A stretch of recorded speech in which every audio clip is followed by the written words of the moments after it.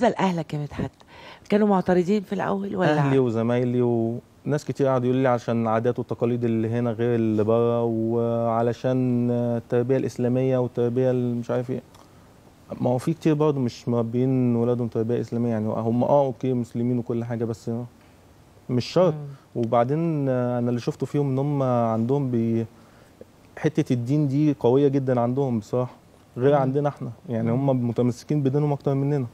هي كريستيان؟ هي كريستيان بس كان- حابة تحول آه، مسلمة.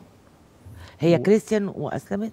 هي إيه؟ كريست هي ما زالت كريستيان. آه. بس هي أسلمت كده لأن أنا وديتها الأزهر.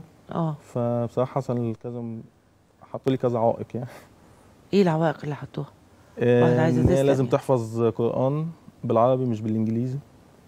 آه ولازم تيجي تسمع وعلى الأقل ثلاث أحاديث. مم. طب انت بتذاكر لها أو آه طبعا. هي آه. حافظة دلوقتي الفاتحة وبتقراها وبتقراها لتاليا. مم. طيب. بتسمع كل يوم قرآن يعني. طب ده ده ده ده حاجة جميلة يعني انت كمان هينوبك ثواب يعني. آه طبعا.